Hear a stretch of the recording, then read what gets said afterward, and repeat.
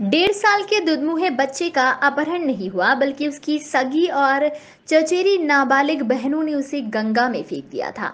पर्दाफाश हुआ तो पुलिस और घर वालों के पैरों तले ज़मीन खिसक गई। बहनों ने ये केवल इसलिए किया कि उन्हें उसकी देखभाल करनी पड़ रही थी। सीसीटीवी फुटेज के ज़रिए पुलिस इस गुत्थी को सुलझाने में कामयाब हो पाई है। आरोपित बहनों को गिरफ़्तार कर लिया गया है। गंगा में मासूम की तलाश की जा रही है। ज्वालापुर के कनखल इलाके में पंक्चर लगाने का काम करने वाले एक व्यक्ति का डेढ़ साल का बेटा शुक्रवार को लापता हो गया था।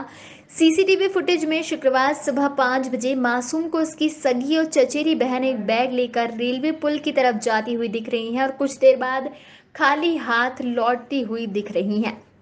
दोनों बहनों में एक छठी और एक आठवीं कक्षा में पढ़ती है और पूछताछ में उन्होंने खौफनाक किस्सा बयान किया और उससे सब हक्के बक्के रह गए हैं। लापता बच्चे की बड़ी बहन ने बताया कि माँ की तबीयत खराब रहती है। कुछ दिनों पहले तक उसकी माँ फैक्ट्री में काम करने चली जाती थी और उसे ही अपने छोटे भाई की देखभाल करती थी, जिससे वो तंग आ गई थी।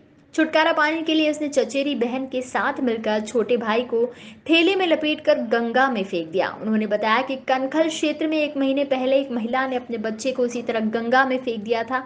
इस खबर के बाद उन्हें अपने भाई से छुटकारा पाने का तरीका सूझा और उन्होंने अपने छोटे भाई को एक बैग में ले जाकर गंगा नदी में डाल दिया। अब गंगा नदी में बच्चे की तलाश की जा रही है। Subscribe our channel and press the bell icon for more updates.